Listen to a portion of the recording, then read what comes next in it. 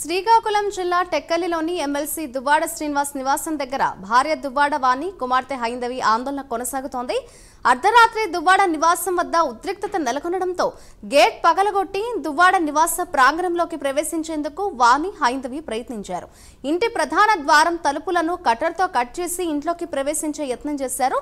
అక్కడే తలుపు పక్కనే ఉన్న దువ్వాడ భార్యపై తీవ్ర పరుష పదజాలంతో దుర్భాషలాడారు. పోలీసులు అడ్డుకోవడంతో శాంతించారు.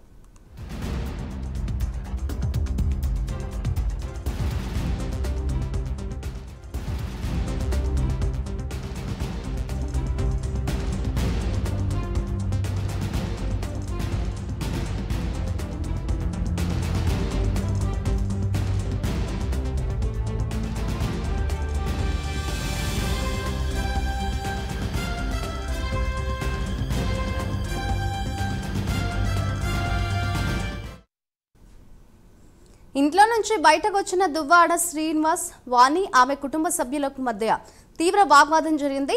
ఆవేశంతో వాణిపైకి దూసుకెళ్ళాడు ఎమ్మెల్సీ దువ్వాడ. పోలీసులు వానికి రక్షణ వలయంగా మారి అడ్డుకున్నారు.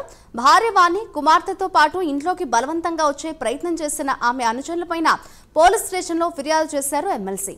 తనపై తన కుమార్తెపై దాడి చేశారంటూ దువ్వాడ శ్రీనివాస్ పై పోలీసులకు ఫిర్యాదు చేశారు వాణి. రాత్రంతా దువ్వాడ నివాసం వద్ద కార్ పార్కింగ్ షెడ్లోనే చైర్లపై నిద్రించి ఆందోళన కొనసాగించారు వాణి ఆమె కుమార్తె.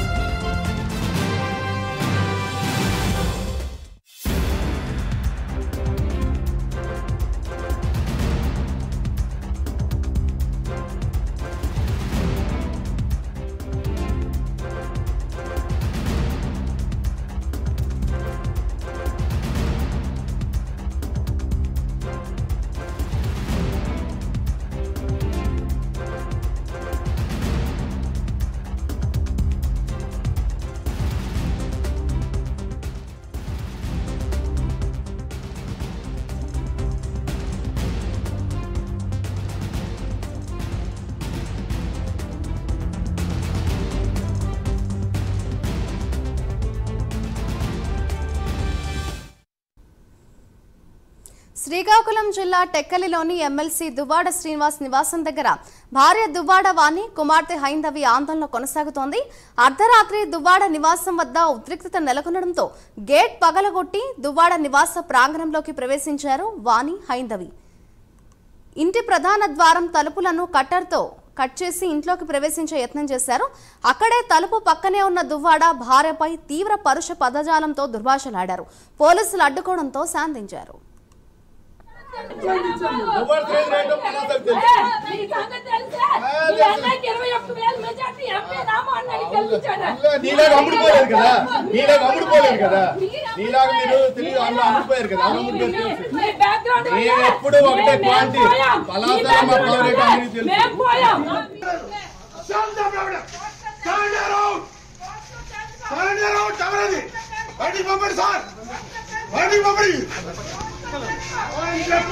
ఆల్రెడీ నోటీస్ ఇచ్చాడు కంప్లైంట్ ఇచ్చాను పంపించండి దాన్ని పంపించండి దశగా పంపించండి ఫస్ట్ ఈ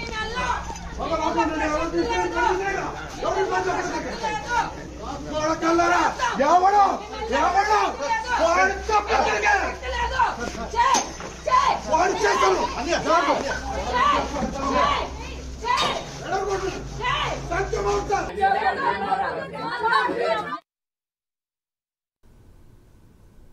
ఇక ఎమ్మెల్సీ దువ్వాడ శ్రీనివాస్ ఇంటి దగ్గర ఆయన భార్య వాణి ఆమె కుమార్తె ఆందోళన అయితే కొనసాగిస్తున్నారు. ఇదే అంశంపై మరింత సమాచారాన్ని మా ప్రతినిధి గిరీశ్వర్ అందిస్తారు. గిరీశ్వర్ చెప్పండి స్టిల్ ఆందోళన అయితే కొనసాగిస్తున్నట్లుగానే తెలుస్తుంది. దువ్వాడ శ్రీనివాస్ ఇంటి దగ్గర ఆయన భార్య కావచ్చు అలాగే ఆయన కుమార్తె కూడా ప్రస్తుతం అక్కడ సిచ్యువేషన్ ఏ విధంగా ఉందంటారు? మాధురి అది నిన్న రాత్రి నుంచి అయితే ఇక్కడే ఇద్దరు భార్య పెద్ద కుమార్తె హైందవి కూడా ఇక్కడే ఉన్నారు. అయితే పూర్తి స్థాయిలో కూడా వాళ్ళు ఇక్కడ న్యాయం జరిగేంత వరకు కూడా ఇక్కడ నుంచి కదిలేదు లేదు అంటున్నారు. అయితే మనం అడిగి తెలుసుకుందాం ఇక్కడ మన దువ ఎందుకు ఇలా నిరసన తెలిపే పరిస్థితి వచ్చిందని చెప్పి. మేడం చెప్పండి. ఏం జరిగింది? మీరు ఇంత నీరసంగా కూడా ఉండి మీరు ఇబ్బంది పడుతున్నారు. నిద్ర లేదు నిద్రపోతున్నాను. ఏ- ఏం లేదండి. మా పిల్లలు ఇంటికి వద్దామని చెప్పేసి టూ డేస్ నుండి వాళ్ళ ఫాదర్కి మెసేజ్ పెడుతుంటే ఆయన రానివ్వకపోవడం వల్ల నిన్న నైట్ నేను మా పెద్ద పాప కలిసి లోపలికి రావడం జరిగింది.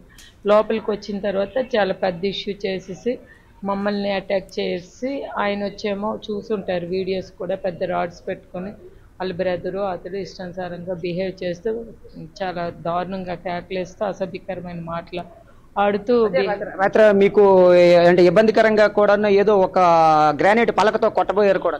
అదే దాంతోనే కొట్టబోయారు. తిరిగి మమ్మల్ని వచ్చేమో మేము ఆయనకి ఏదో హత్యాయత్నం చేశామని చెప్పేసి మా పైన కంప్లైంట్ పోలీస్ స్టేషన్కి ఇవ్వడం జరిగింది. మేము కూడా ఆయన పైన ఫిర్యాదు చేయడం జరిగింది. ఇట్లా మా పైన ఆయన దాడి చేయడానికి ప్రయత్నించారు. మాకు పోలీస్ ప్రొటెక్షన్ కావాలి అని ఇచ్చారు. అసలు మీరు ఏం కోరుకుంటున్నారు ఆయన దగ్గర నుంచి? ఈ ఇంట్లో అందరము ఇక్కడే ఉంటాము. మాకు ఎలాంటి అబ్జెక్షన్ చేసే హక్కు ఆయనకి లేదు. ఎందుకంటే ఇంట్లో ఇల్లీగల్ ఎఫ్ఐఆర్ ఎవరో లేడీ ఎంటర్ అయ్యి కంప్ చేస్తుంది. తద్వారా మాకు డ్యామేజ్ అవుతుంది. ఫొటోస్ డ్యాన్స్లు ఇవన్నీ పెట్టుకొని చాలా కంపు చేస్తున్నారు. ఒకటే మేము ఆయనకు అంటున్నాము నీకు ఏదైనా అలాంటివి ఉంటే బయట వెళ్ళి చూసుకో. ఈ ఊర్లో ఈ టెక్కల్లో ఇక్కడ ఈ ఇళ్ళల్లో చేస్తే మా పిల్లలు ఫ్యామిలీ డ్యామేజ్ అవుతుంది కాబట్టి అలాంటివి మేము యాక్సెప్ట్ చేయమని చెప్పేసి మా వాదన. అయితే నిన్న కూడా ఆవిడ ప్రెస్ మీట్ అయితే పెట్టడం జరిగిందమ్మా. ప్రెస్ మీట్లో కూడా ఆవిడ ఒక ఫ్రెండ్ లాగే మేము ఉంటున్నాను. నాకు ఆదరించడానికి ఆయన ఓ ఫ్రెండ్ లాగే మనం నేను ట్రీట్ చేస్తున్నారు తప్ప అటువంటివి మాకు ఎటువంటి సంబంధాలు లేవు కూడా అని చెప్పడం జరిగింది. ఆవిడ ఫ్రెండ్ లాగా వ్యవహరిస్తుందని ఒక క్షణం అంటది ఒక క్షణం రేపు ఫ్రెండ్షిప్ మ్యారేజ్ కింద మారొచ్చాను అంటది ఒక క్షణం ఏదో అనుమానించాం కాబట్టి నేను బలపరుస్తాను అంటది ఇవి పిచ్చి పిచ్చి మాటలన్నీ ఆడుతుందండి. ఆవిడ చేసినవి మా ఒక్క ఫ్యామిలీకే కాదు చాలా మంది ఫ్యామిలీస్ని కూడా ఆవిడ డిస్టర్బ్ చేసింది. కోలాటం అండ్ డ్యాన్స్ పేరుతో కూడా చాలా మంది పిల్లల్ని వాళ్ళని కూడా డిస్టర్బ్ చేసింది. దానికి సంబంధించి తన ఆ పరిణామాలు కూడా రేపు ఫేస్ చేయవలసి వస్తుంది. ఇవంతా టెక్కల్లో ప్రతి ఒక్క షాప్కి తెలుసు ప్రతి ఒక్క వ్యక్తికి తెలుసు. ఆవిడ ప్రెస్ మీట్లో అయితే చెప్పారు కోలాటములతో నేను ఎంతో మందికి విద్య నేర్పాను తప్ప నేను అటువంటి వెయిట్ చేయలేదు నా మీద తప్పుడు ప్రచారాలు అయితే చేస్తున్నారు దువ్వాడ వాణి గారు. తెలుస్తుంది. దాని సమయం వస్తుంది దాని ప్రూఫ్స్ వస్తాయి దాని ట్రీట్మెంట్ వస్తుంది. ఈరోజు మేము బయటపడ్డాం. ఇంకా గతంలో కూడా ఇంకొక ఫ్యామిలీ కూడా ఇలాగే బయటపడింది. రోడ్డు ఎక్కింది అది అందరి మీడియాస్కి తెలుసు. ఆ అక్రమ సంబంధం అంతకుముందు ఇంకొకరితోని. అన్నీ తెలిసినవే. మేమేంటండి అలాంటి వ్యక్తి కోసం మాట్లాడతాము. మేము ఉన్నతమైన కుటుంబము మా అత్తవారిది ఉన్నతమైన కుటుంబము. ఒక పెద్ద లాయర్ గారి తాలూకా ఫ్యామిలీ మాది అని కూడా చెప్పుకొని వచ్చాను తల్లి తండ్రి బట్టి ఉంటుందండి. పేదోడ పెద్దోడ చిన్నోడ అనేది ఉండదండి.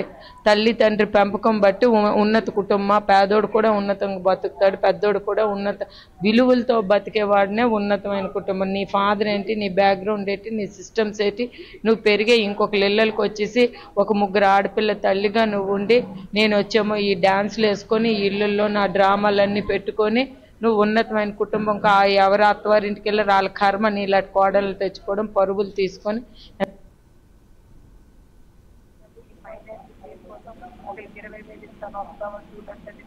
ఒకరికి ఇరవై వేలు ఇస్తాను వస్తావా టూర్ అంటది ఇంకొకరికి ముప్పై వేలు ఇస్తాను నాతో టూర్ వస్తావా అంటది అల్లక్కడికి వెళ్దామంటది ఇల్లు ఎక్కడికి వెళ్దామంటది కేవలం ఫైనాన్స్ దీనికోసం ట్రాప్ చేయడం ఆవిడ వృత్తి అది. అసలు శ్రీని గారు కూడా నిన్న రాత్రి మీ పైన అరిచేటప్పుడు కూడా మీ వల్లే ఆయన జీవితం పోయింది అసలు మీ వల్ల ఆయన ఇబ్బంది పడి అసలు నేరకపోయి మిమ్మల్ని వివాహం చేసుకున్నాను కూడా అంటారు హండ్రెడ్ పర్సెంట్ నేరకపోయి ఆయన చేసుకోవడం కాదు నేను చేసుకున్నాను. నేరకపోయి అది ఎప్పుడో నేను చెప్పాను.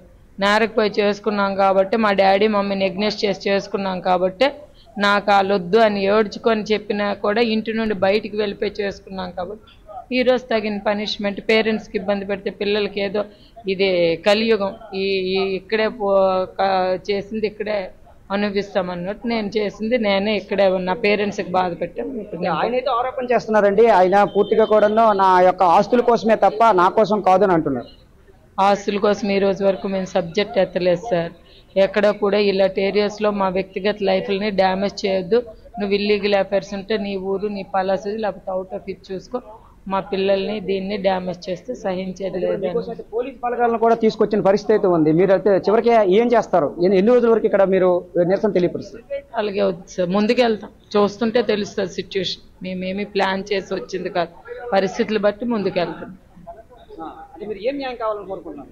ఇక్కడ ఉందామని అనుకుంటున్నాం. ఇక్కడ ఉంటాం. ఆయిల్ కూడా అయిందే కదా? ఆయిల్ అంటున్నారు. మరి ఉంటే డాక్యుమెంట్ పరంగా చూపించుకున్నారు మాటలనిస్తే కాదు కదా. పిల్లలకి మీరు ఏమైనా న్యాయం కావాలని కోరుకుంటున్నారు? మా పిల్లలు ఆయనతో ఉంటారు. అది దువ్వాడ వాణి గారు అయితే మనతో చెప్పింది ఏంటంటే పూర్తి స్థాయిలో కూడా నాకు న్యాయం జరిగేంత వరకు కూడా నేను పోరాటం చేస్తాను ఇక్కడే ఉంటాను. నాకైతే ఎటువంటి ఇబ్బంది లేదు నేనైతే ప్లాన్ చేసి రాలేదు. మేము అకస్మాత్తుగా వచ్చాం కాబట్టి ఇక్కడ మేము ఉండి న్యాయ పోరాటం అయితే చేస్తామని మనకి దువ్వాడ వాణి అయితే మనకి చెప్తున్నారు. థ్యాంక్ యూ గిరీశ్వర్ కొడకల్లారా ఎవడు ఎవడు వాడు తప్పనిసరిగా వాడు చేస్తాను ఎక్కడ